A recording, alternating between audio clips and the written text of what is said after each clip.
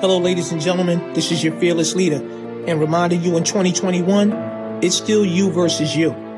You act like it's you against the world, when in reality, it's just you against you. Don't let anyone tell you different. Don't allow anyone to have you believe that your competition is another person.